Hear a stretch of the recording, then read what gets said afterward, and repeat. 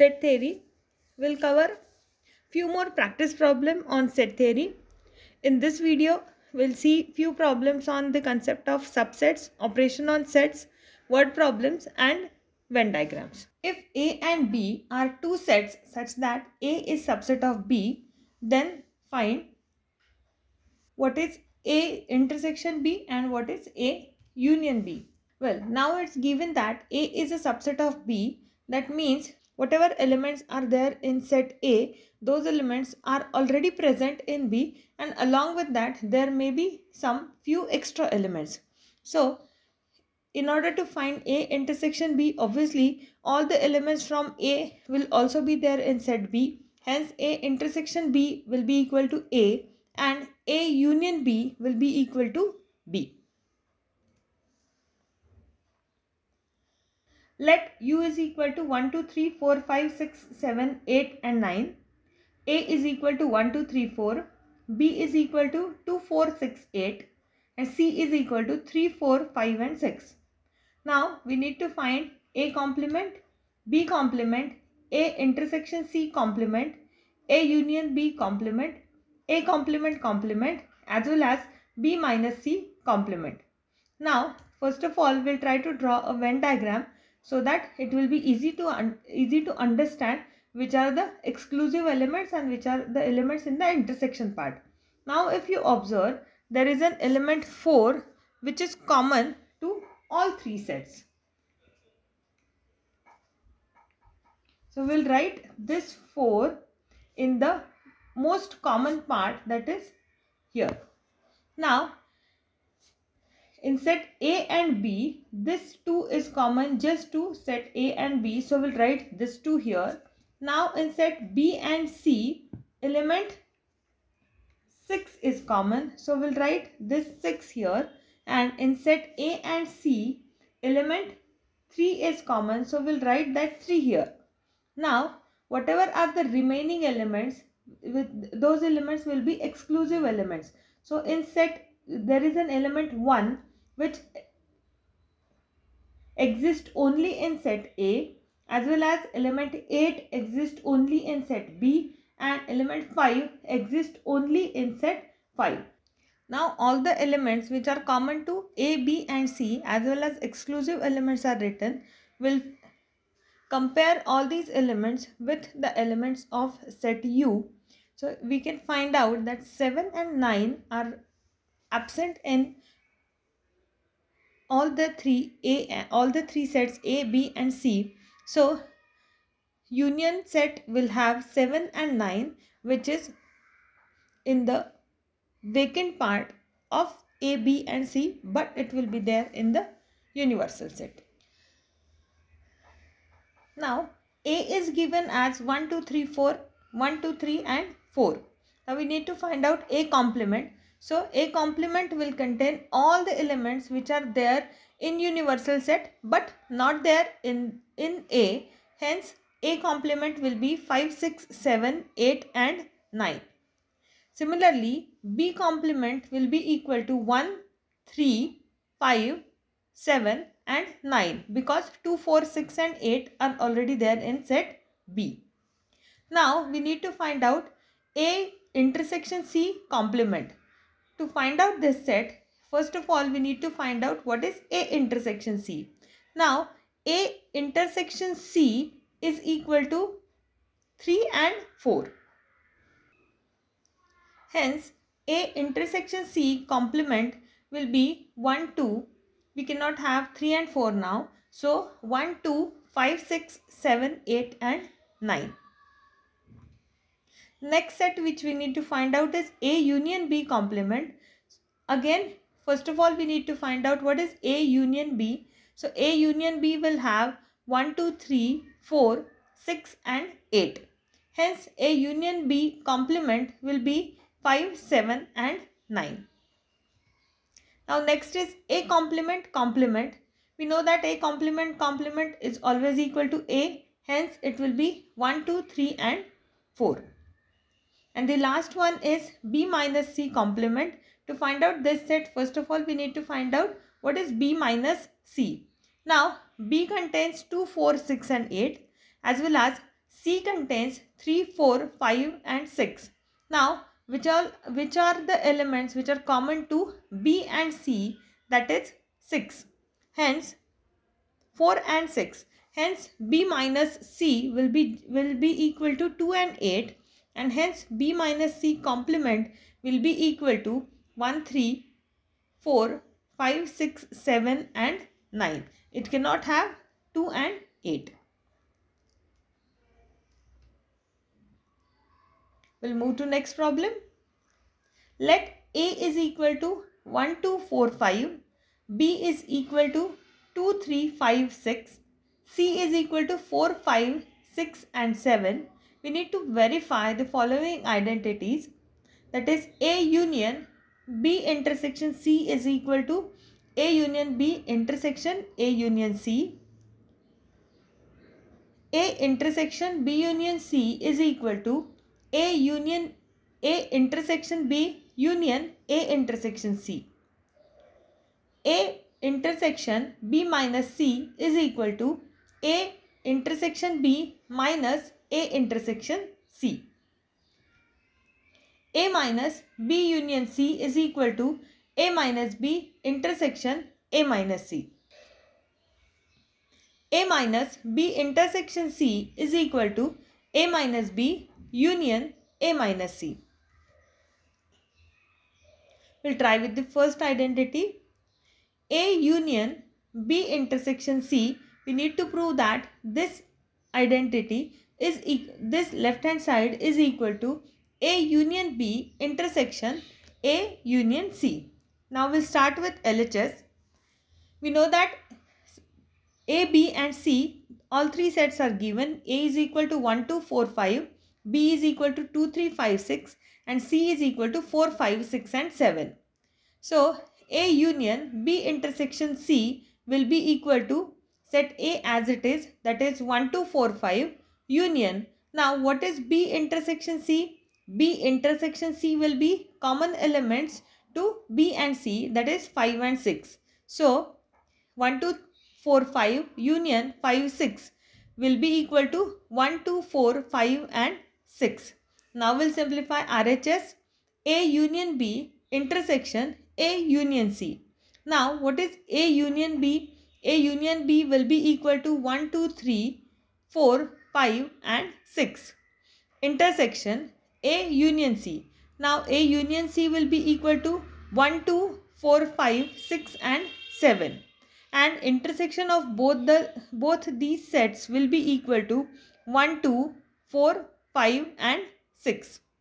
Now if we observe both the sets after simplification we can establish that LHS is equal to RHS hence the given identity can be verified. Now next moving to next one A intersection B union C is equal to A intersection B union A intersection C. Now again LHS A intersection 1 2 4 5 intersection B union C. Now B union C is 2 3 4 5, 6 and 7. So, intersection of these two sets will be just 2, 4 and 5. And RHS is A intersection B union A intersection C. Hence, 2, 5 union 4, 5 that is equal to 2, 4, 5. Again, LHS is equal to RHS. Hence, second identity can also be verified. Third, A intersection B minus C is equal to A intersection B minus A intersection C. Now LHS, first of all we need to find out what is B minus C. B minus C will be equal to 2 and 3.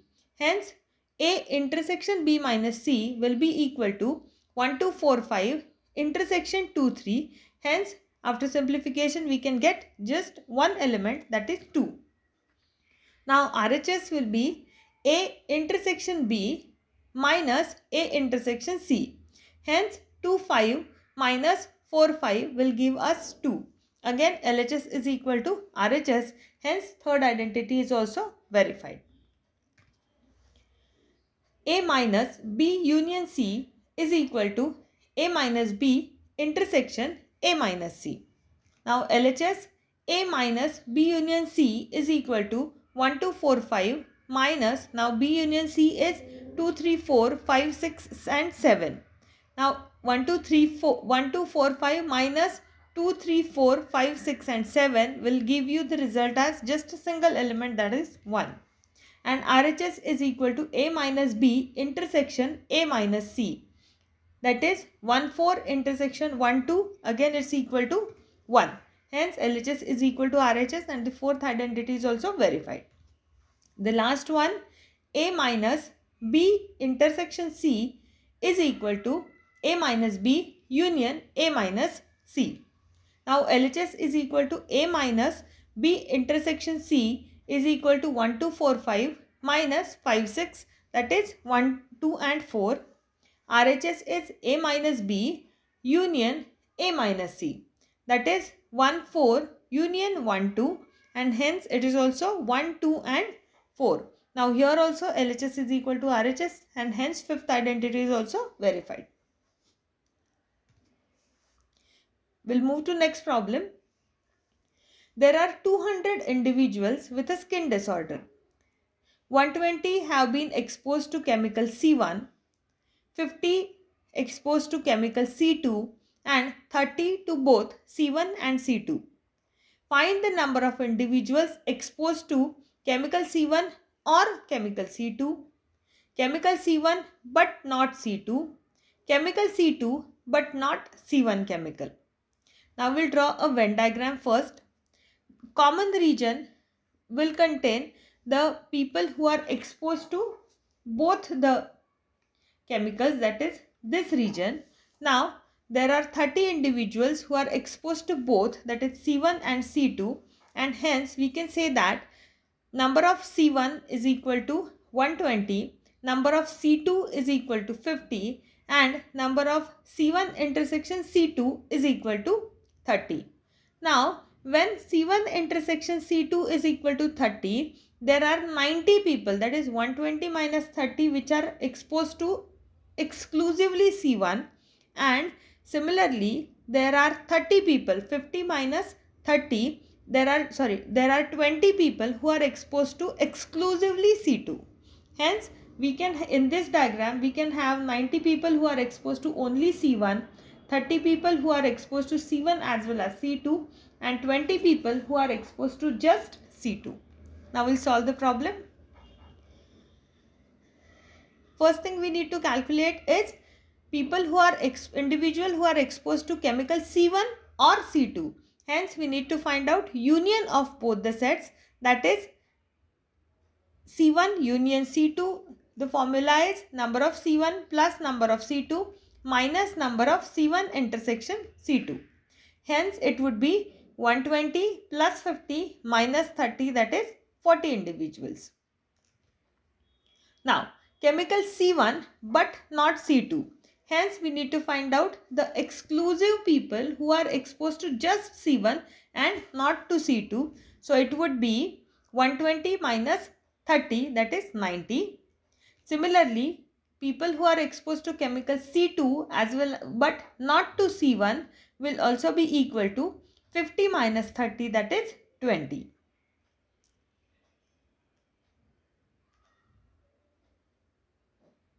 So if you try to visualize the diagram with the help of Venn diagram, then the problem becomes extremely simple to visualize and to understand. We'll move to next problem. In a town of 10,000 families, it was found that 40% families buy newspaper A, 20% families buy newspaper B and 10% families buy newspaper C. 5% families buy A and B, 3% purchase B and C, and 4% buy A and C. If 2% families buy all three newspapers, find the number of families which buy A only, B only, and none of A, B, and C. Now we'll write down the given information which is there in the problem. Now there are total 10,000 families. So n of u is equal to 10,000. Now 40% families buy newspaper A. Hence, N of A is 40%. As of now, N of U is given in the form of number of families and N of A, B and C is given in terms of percentage. We'll keep it as it is as of now. So, N of A is 40%, N of B is 20% and N of C is 10%. After that, it is also given that there are 5% families which buy A and B. Hence, N of A intersection B is 5%. Similarly, 3% buy B and C. Hence, N of B intersection C is 3% and N of A intersection C is 4%. Now, there are 2% families which buy all three newspapers. Hence, N of A intersection B intersection C is equal to 2%. Now, we'll write down the formula. We know that N of A union B union C is equal to N of A plus N of B plus N of C minus N of A intersection B minus N of B intersection C minus N of A intersection C plus N of A intersection B intersection C. So n of A is 40, n of B is 20 will and n of C is 10 minus 10 minus 5 minus 3 minus 4 plus 2 after calculation we get 60%. So n of A union B union C is equal to 60%.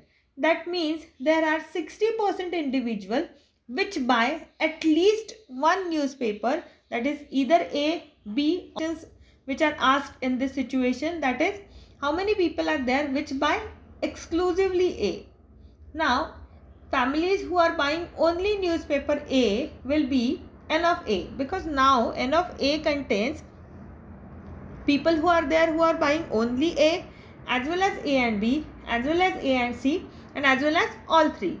So families buying only newspaper A will be N of A minus n of A intersection B minus n of A intersection C. Now again we need to add n of A intersection B intersection C. So 40 minus 5 minus 4 plus 2 that is 33% people. You understood that why we are adding this? The same concept which is there which is used in the formula because the subtraction we are subtracting the same number of elements twice. Hence in order to calculate it correctly we need to balance the formula. So, actual number of families who are buying only A is 33% of 10,000 families that is 3300 families. Similarly, families who are buying only newspaper B will be N of B minus N of A intersection B minus N of B intersection C plus N of A intersection B intersection C that is 20 minus 5 minus 3 plus 2 which is equal to 14%. Now actual number of families buying newspaper B will be 14 14% of 10,000 that is 1400 families. Next question is none of A, B and C. Now we have already calculated N of A union B union C is equal to 60%. That means there are 60% families which buy at least one newspaper. Hence, none families who are buying none of the newspaper will be n of u minus n of a intersection n of u minus n of a union b union c. Now, 60% is calculated in terms of percentage. So, n of u also we need to convert into percentage. So, n of u will be 100 so 100 minus 60 will be equal to 40%. Hence actual number of families who are buying the newspaper is 40% of 10,000 that is 4,000 families. Understood?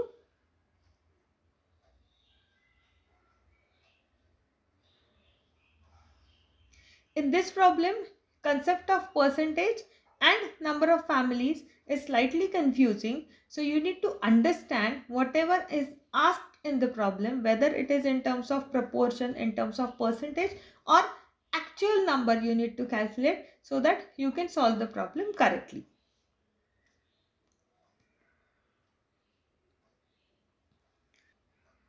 While we are reading the problem, we will write down the given information. In a survey of 25 students, that means N of U is 25. It was found that 15 had taken mathematics. So, N of M is equal to 15. 12 had taken physics. So, N of P is equal to 12 and 11 had taken chemistry. So, N of C is equal to 11. Now, 5 had taken mathematics and chemistry. So, N of M intersection C is 5. 9 had taken mathematics and physics. So n of m intersection p is equal to 9. 4 had taken physics and chemistry. So n of p intersection c is equal to 4. And 3 had taken all three subjects. So n of m intersection p intersection c is equal to 3. Find the number of students that had taken only chemistry only mathematics, only physics, physics and chemistry but not mathematics, mathematics and physics but not chemistry, only one of the subject, at least one of the three subject and none of the subject. First of all, we'll write down the formula for union of the three sets that is n of m union p union c is equal to n of m plus n of p plus n of c minus n of m intersection c minus n of m intersection p minus n of p intersection c plus n of m intersection p intersection c. c. Now, first question is we need to find out the students who have taken only chemistry. Now, similar to the previous problem, students who have opted for only chemistry will be n of c minus n of m intersection c as well as minus n of p intersection c plus n of m intersection p intersection c. Hence 11 minus 5 minus 4 plus 3 is equal to 5. Similarly, students who have opted for only mathematics will be equal to n of m minus n of m intersection c minus n of m intersection p plus n of m intersection p intersection c that is 15 minus 5 minus 9 plus 3 is equal to 4. Similarly, you can calculate for physics also that is 12 minus 9 minus 4 plus 3 is equal to 2. Now, next part is students who have opted for physics and chemistry but not mathematics. So we need to identify the students who have taken physics and chemistry. Physics and chemistry will be there in N of P intersection C. But from that set, we need to subtract the count of the students who had also opted for mathematics. Hence, the students who have taken physics and chemistry but not mathematics will be equal to N of P intersection C minus n of m intersection p intersection c. That is 4 minus 3 is equal to 1. Because we need to calculate physics and chemistry but not mathematics. Now there are three students who have opted for maths, physics as well as chemistry. And there are four students who have opted for physics and chemistry. So these three students who have already opted for all three subjects is already there in this count of 4 and hence we are subtracting that in order to get the student who have opted for only physics and chemistry but not mathematics. Now similarly, students who have opted for mathematics and physics but not chemistry. So we need to take the set of n of m intersection p minus uh, students who have opted for all three. That is 9 minus 3 is equal to 6.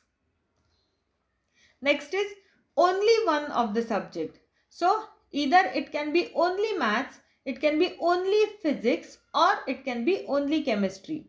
Now we have already calculated students who opted for only one subject. So for only chemistry that is 5, only mathematics is 4 and only physics is 2. Hence students who opted for only one subject will be equal to 4 plus 2 plus 5 that is 11. Now students who have opted for at least one of the two subject. Now there are two ways to calculate this one. It either you can have at least one subject. That means you can count students who have opted for exactly one subject, exactly two subjects or all three subjects.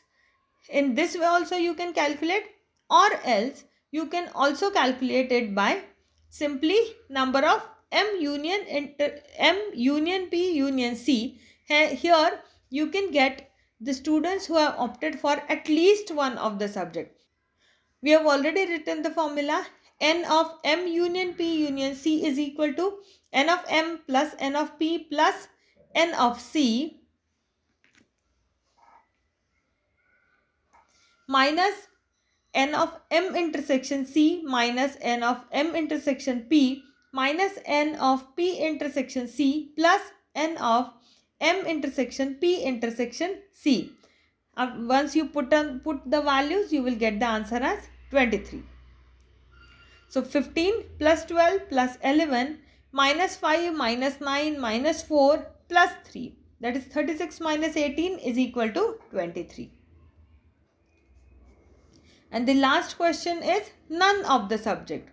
Now, we already know that students who have taken at least one subject, that is, there are 23 students who have taken at least one subject and total number of students are 25.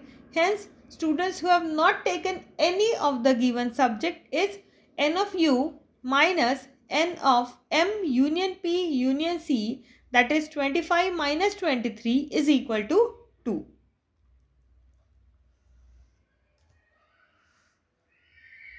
With this problem, we have done with practice problems of sets. In next video, we will cover few more practice problem on second chapter. If you have not understood any concept, please write to me in the comment box. If you want me to cover any specific problem, you can share that problem also in the comment box. I will also try to include that problem in upcoming videos. Thank you.